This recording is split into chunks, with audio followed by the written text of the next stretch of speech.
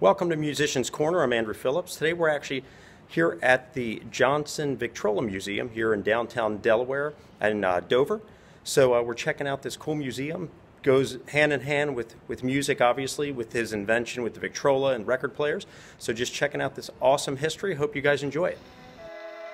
If you are ever in the Dover, Delaware area, I'd highly recommend visiting this museum. If you're into sound and recording and music and just understanding more of the history, it's a very cool museum to come to. It's located at 375 South New Street in the historic part of Dover, Delaware.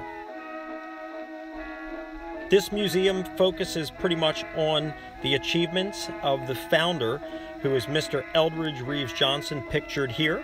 He was more reserved than your Thomas Edison and Bell, so he's not known as well as they are, but he is very well known for Victor Records, as is seen there. He was also the founder of the Victor Talking Machine Company, and known as just being a pioneer in the development of the sound recording industry.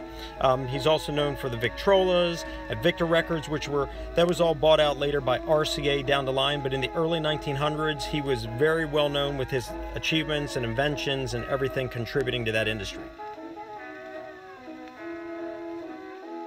Eldridge Johnson was born on February 6, 1867 in Wilmington, Delaware and he died on November 14, 1945, in Morristown, New Jersey.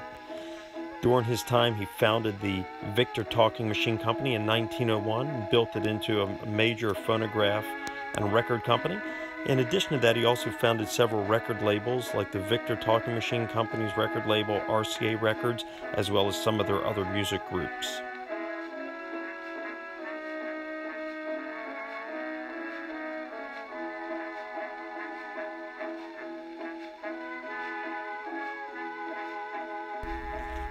In 1896, at only 29 years old, Eldridge started in this little 20 by 40 foot workshop located in Camden, New Jersey.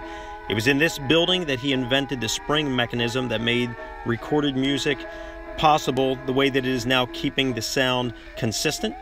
And it was also in this building on August 10, 1897, that he got his first contract with Berliner to build the phonograph motors. By October 1924, his factory complex in New Jersey had grown to this huge 58 acre complex containing 31 buildings and over 2.5 million square feet of floor space.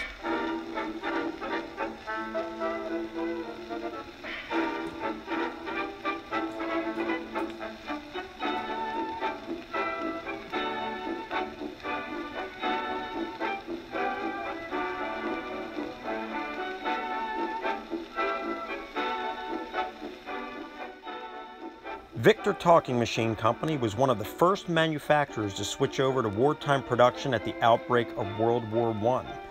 In addition to that, the company also was responsible for helping manufacture rifle components and biplane wings for the military.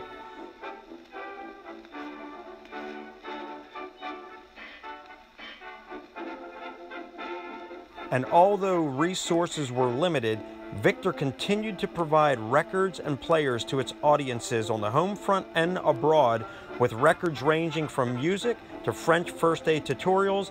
Victor sound engineers also recorded the first sounds of war, but never released the master to the public due to the horrific sounds heard from the battle.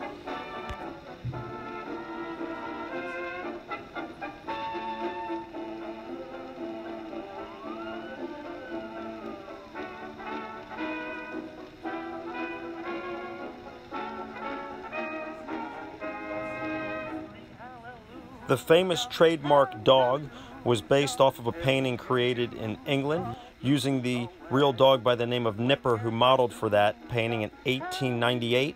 That painting would be titled His Master's Voice. The original artist had presented this to the Edison Bell Company of New Jersey, thinking they may find it useful, but at that time they offered a reply saying dogs don't listen to phonographs and turned it down. On May 31st, 1899, he then presented it to the Gramophone Company, and after making some requested changes to the painting, they agreed to take it on, and that became one of the most successful trademarks used by the Victor Company and other labels, including the current one, Radio Corporation of America, known as RCA. This trademark would become one of the most popular trademarks in history. In 1909, the Victor Company released the Vernis Martin series, which featured gold leaf cabinets with hand painted artwork that could be custom ordered. Victor also offered a wide variety of custom art cases that could be ordered and hand painted on any of their cabinets.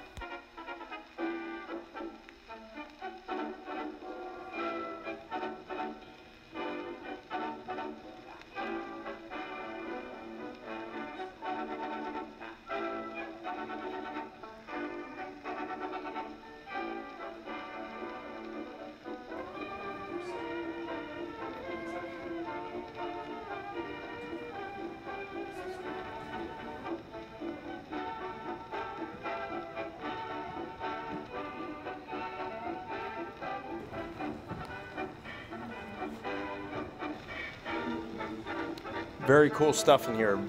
Very, very cool history for anyone who's interested in music, things like that. Definitely, definitely highly recommended.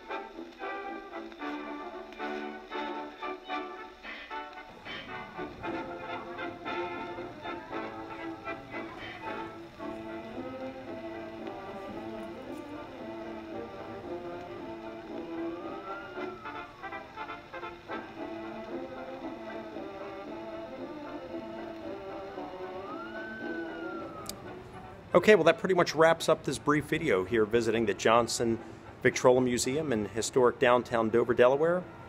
If you're into music, recording, records, all that history, very awesome stuff, very informative. They have a lot on display. Highly recommend coming here. You can Google it, check it out. You do need to make a reservation though. It's all by appointment only. Please send me any questions, comments. I would love to hear from you. I hope you enjoyed the video. Please like this video, subscribe to this channel as I'm constantly posting content. I'll see you next time.